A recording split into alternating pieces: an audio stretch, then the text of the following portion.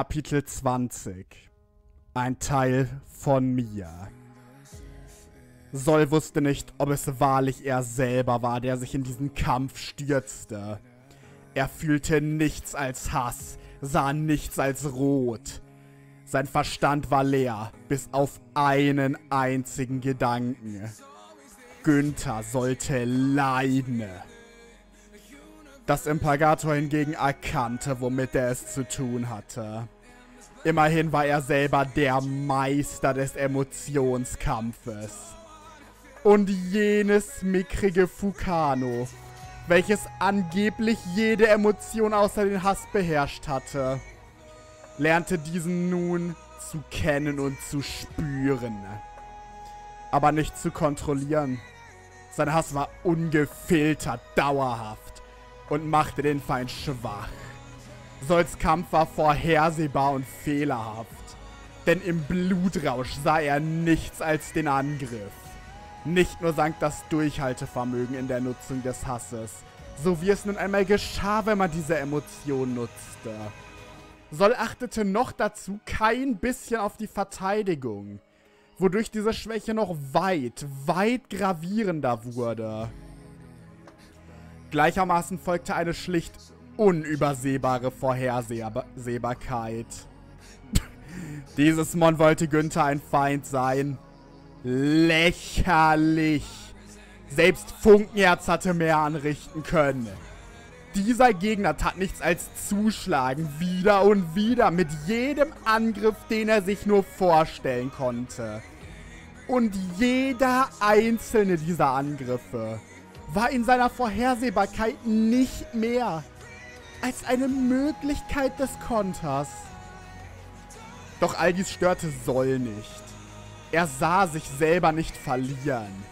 Er wurde getroffen, wieder und wieder, wurde verwundet, weiter und weiter. Doch er änderte nichts an seinem Kampf.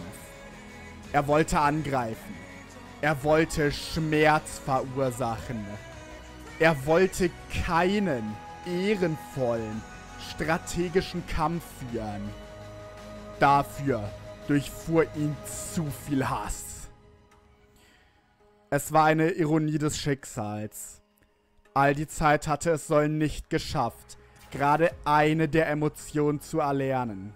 Alleinig jene des Hasses. Irgendwo war er aber auch zufrieden damit gewesen. Hass war einfach nicht, wofür das Fukano stehen wollte. Er wusste nicht einmal, ob er diese Emotion in der Lage war zu verspüren. Und nun war er hier. Am Ende des Weges, im letzten, im größten aller Kämpfe und er konnte nichts anderes mehr spüren. Wieso musste alles so verlaufen? Ein einziges, arrogantes Pokémon war alles, was sich vor das perfekte Ende gestellt hatte. Und nun war es alles zerstört. Die Zukunft, die hätte sein können, die hätte sein sollen, die hätte sein müssen. Doch nun stand Sol alleine an diesem Ort. Hinter dem Wasserfall waren zwar Mitstreiter, aber bedeutete es noch irgendetwas? Vermutlich wäre Funkerz tot, der Schwur gebrochen. Es gab nichts mehr, wofür sich der Kampf wahrlich lohnte. Es gab nur noch Hass. Ein Hass, welcher nie zum Sieg führen könnte. Selbst gegen den schlimmsten Feind in der schrecklichsten Lage. Es wäre niemals Hass, der einen ans Ziel führte. Denn Hass machte blind, er machte schwach durch seine Stärke. Hass veränderte. Er nahm das Wesen des Mann wahr und brach es. Alles, was der Hass Soll in dieser Schlacht brachte, war Zähigkeit. Er war machtlos. Er richtete nichts aus, wurde wieder und wieder für seine Versuche zurückgeschlagen und machte trotzdem weiter, wo er schon lange aufgeben müsste. Kein Weg nach vorne, kein Weg zurück. Es fühlte sich an wie eine Gefangenschaft in einer grauenvollen Gegenwart, aus welcher es kein Entrinnen gab und Hilfe, Hilfe würde niemals kommen. Ein, eine Stimme. Eine einsame Stimme. Sie war schwach. So schwach. Soll selber verstand nicht, wie er sie überhaupt vernehmen konnte. Durch das Rauschen von Wasser im Kampf und Blut im Verstand. Doch da war sie. Diese Stimme. Sofort wandte sich das Fukano von seinem Feind ab und sprang an den Wall, der ihn trennte von seinen Freunden. Äh, Funkenherz, bist du das? Ich, ich höre dich, bist du es? Ich, ich bin hier, ja. Ge geht es dir gut? Du bist am Leben. Ich, ich dachte, ich, ich dachte, mach dir um mich keine Sorgen, bitte. Ich, ich werde es überleben. Ich bin in Sicherheit. Anders als du. Bitte, bitte sieh, was du tust. Das, wer da gerade kämpft, bist nicht du. Das bist nicht du, Soll. Und nur du selber kannst diesen Kampf gewinnen. Ich glaube daran. Ich weiß es. Das bist nicht du. Sie lebte. Funkenherz war am Leben. Sie war wohl wahrlich so zäh wie ihr Ahne. Aber das Wie war egal. Sie lebte und ihre Worte ließen Soll wieder klar denken. Rotes Licht schwebte um ihn herum, zu welchem das Fukano gedankenvoll blickte. Im Anschluss sammelte sich all dieses Licht, konzentriert in einer kleinen roten Kugel in der Pfote des Kriegers. Du, du hast Unrecht. Funkenherz, du hast Unrecht. Zumindest zu teilen. Das hier bin ich. Ein Teil von mir. Ein Teil, den ich zu lange abgelehnt habe. Dessen Existenz mir nicht wirklich bewusst war, weil er mich zu sehr an jemanden erinnert hat, der ich nie sein wollte. Mit einem letzten Blick auf das rote Licht schloss Sol seine Pfote und wandte sich um. Sein Feind nun wieder anblickend. Günther, ich muss dir wohl fast danken. Dafür, dass du ein schreckliches Pokémon bist. Wie ist es für dich? Du nennst dich den Meister des Emotionskampfes. Alleine, weil dir alles durch deine Essenz zugeflogen kam. Die Essenz der Emotion. Durch sie konntest du es alles. Ohne diese Emotion jemals wahrlich zu spüren, zu lernen, zu leben. Du hast nie den Zyklus durchgemacht, der hier mit einfließt. Jede Emotion birgt eine Geschichte und ein Lehrer. Das Leben lehrte mich Freude. Die Freude lehrte mich Trauer. Die Trauer lehrte mich Hoffnung. Meine Familie und Funkenherz lehrten mich Liebe. Und das sollte es sein. Das dachte ich immer. Denn wie könnte ich ein Pokémon wirklich hassen? Niemand handelt, wenn er oder sie es nicht für richtig hält. Selbst, selbst der Verrat Papas. Ich wollte ihn verstehen. Ich konnte ihn nicht hassen, sondern nur darüber trauern. Omegon, der all unsere Weltenbäume brennen sehen will. Er folgt einem verzerrten, irrwitzigen Sinn von Gerechtigkeit im Veto. Aber selbst er, er folgt eben dieser Gerechtigkeit. Und er denkt, sie wäre das Beste für die Pokémon und Welten. Äh, wie also? Wie sollte ich ihn hassen? Ich könnte mich entgegenstellen, widersprechen, aber... Hassen? Nein. Hass war mir immer fremd. Bis heute. Günther. Ich danke dir. Du hast heute bewiesen, dass es Pokémon gibt, die wahrlich keine Moral haben die nicht das Beste wollen, die nicht gerecht sind. Pokémon, die es wirklich wert sind, gehasst zu werden. Die selbst ein Krieger wie ich sein will, hassen kann, ohne dabei seinen Pfad aus den Augen zu verlieren. Und jetzt fünf farbige Kugeln bildeten sich um Sol herum. Vielleicht bin ich das erste Pokémon, das erste Pokémon, welches alle fünf Emotionen beherrscht und sie wahrlich lernte und meisterte. Anders als du. Ein wahrer Meister der Emotionen. Hass, Freude, Trauer, Hoffnung, Liebe. Alles habe ich auf einer großen Reise erlebt. Und diese Reise ist hier an ihrem Ende.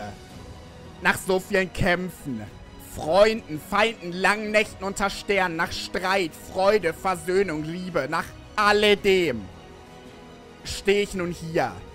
Und wenn es eine Emotion gibt, welche in meinem Herzen schlägt, welche ich in meiner Seele in diesen Momenten am stärksten fühle, eine Emotion, die mich nun leiten soll, dann ist es Entschlossenheit. Auch Sol führte einen Hieb mit der Kralle aus, abgezielt auf keine der fünf Emotionen. Stattdessen war es direkt in ihrem Zentrum, wo die Klauen auf Widerstand stießen. Aber nur für einen kurzen Moment. Denn Sekundenbruchteile später klirrte es wie brechendes Glas. Und für einen Moment schien die Zeit zu stoppen. Doch nur für einen Moment. Und als dieser vorüberzog, erfüllte augenblicklich Rauch die gesamte Grotte. Oder wohl eher Dampf. Ein Zischen war das einzige Geräusch, welches für nun ertönte. Durch den einen winzigen Ausgang, welcher der Gang der Treppe war, dauerte es eine ganze Weile, bis der Dampf wieder Sicht gab. Das erste, was durch ihn hindurchstrahlte, waren bunte Lichter an zwei Stellen. Dakra war der Erste, der durch all den Dampf eine Chance sah, welche zuvor nicht war. Denn Günthers Wasserwall war fort. Sofort schoss der Schatten los. Doch ebenso schnell wurde er gestoppt. Denn zwischen ihm und dem Feind erschien ein neues Hindernis. Dieses Mal keines aus Wasser, sondern aus Flammen. Der einzig relevante Unterschied? Durch die Flammen hindurch konnten die Pokémon wahrnehmen, was sich auf der anderen Seite befand, was die Fluten nicht zuließen. Und durch den langsam weiter schwindenden Dampf konnten sie so ein Pokémon auf der anderen Seite der Flammen erkennen. Tut mir leid, Darkrai, aber das hier ist nicht mehr dein Kampf. Ich habe Günther herausgefordert. Mon gegen Mon. Nur wir beide. Und ich gedenke dieses Wort zu halten. Allein die Stimme, ihre Rauheit, ihre Tiefe. Als die Sicht sich legte, stand dort im Herzen des Kampfes kein Fukano mehr. Der körperlich eher kleine, schmächliche Soll war fort. An seiner Stelle war nun ein Akani, wie es die Weltenbäume selten gesehen hatten. Gewaltig, selbst für diese Spezies. Muskulös, selbst durch das dichte Fell, eine Mähne wie Samt, voller Pracht und Stolz. Und umgeben von der Kraft aller Emotionen. Selbst in diesem Anblick wirkte es nicht, als wäre Günther wahrlich ängstlich. Doch er war interessiert. Sehr. So soll es also sein. Du möchtest doch noch einen wahren Kampf liefern, nicht? Gut. Ich dachte schon, du hättest mir schon alles gezeigt. Sprich nicht, als ging es dir um die Integrität des Kampfes oder dergleichen. Es geht dir um den Sieg. Müssen sich diese beiden Sachen denn zwingend widersprechen? Warum nicht beides? Natürlich will ich siegen, aber ich will den Sieg verdienen müssen. Und bisher hast du mich kein bisschen dafür arbeiten lassen. Keine Sorge, das ändert sich jetzt. Nun stehen wir auf Augenhöhe. Augenhöhe. Flieg nicht zu nah an die Sonne. Selbst deine Flügel brennen dort. Du trittst mir mit meiner eigenen Kraft gegenüber. Doch ich habe auch die Sterne. Und ich habe das Wasser. Gegen Feuer. Ausgeglichen ist hier lange nichts. Ich bitte dich, unterschätze mich weiter. Glaubst du wirklich, dass du eine Flamme löschen kannst, die brennt wie die Sonne? Und ob ich das kann? Weißt du, ich bin in gleich mehrerer Weise sehr zufrieden mit diesen Entwicklungen. Du kommst sehr nach deinem Vater. Jetzt sieht und hört man dir das noch besser an als zuvor. Wüsste ich es nicht besser, ich würde gar glauben, dass ich Sakit selber gegenüberstehe. Und das im Kampf. Endlich! So oft hätte ich diesem arroganten, selbstmoralischen Kerl gerne den Hals umgedreht. Aber ich durfte nie. Er war ja ein Mitstreiter. Zwar durfte ich dem Kerl nicht selber das Genick brechen. Aber du wirst ein angemessener Ersatz sein. Mit entschlossenem Ausdruck blickte Sol voran. Doch anschließend auch kurz zurück. Zu seiner Gruppe. Seiner Partnerin. Ja, äußerlich war dieses Pokémon fast nicht mehr als Sol zu erkennen, aber deswegen war er im Herzen noch lange kein anderer. Nur, dass er nun all die Kraft hatte, die er brauchte, um für seine Ziele zu kämpfen. Funkenherz, Asche, Freunde. Ich hoffe, ihr versteht, weshalb ich diesen Kampf alleine führen muss. Aber ich verspreche euch, die Zukunft ist unsere. Funkenherz, ich habe es dir geschworen. Ich habe es uns geschworen. Die Zukunft, die wir haben könnten. Die Zukunft, die wir haben wollen. Der Traum dieses Friedens. Sie werden alle wahr werden. Ein letztes Mal vor Kampfbeginn wandte er sich zu Günther.